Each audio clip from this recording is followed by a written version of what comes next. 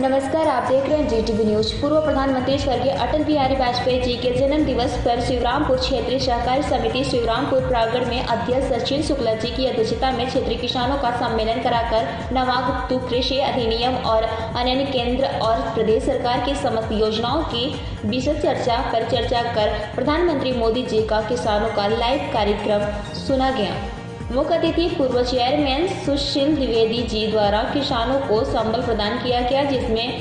खोही सहकारी समिति अध्यक्ष गौरी शंकर सोनी इटखरी सहकारी समिति अध्यक्ष कुशल चौबे जी टीवी न्यूज़ के जिला संवाददाता राधा बिहारी पाठक, दैनिक स्वदेश के लिए जिला संवाददाता अरुण सिंह, भाजपा जिला कार्यकारिणी सदस्य घनश्याम पटेल व ज़िले के समस्त अधिकारी सह किसानगढ़ का हुजूम मोदी जी के सहयोग का गवाह बना। इसी चित्रकूट से राधा बिहारी पाठक की एक खास रिपोर्ट।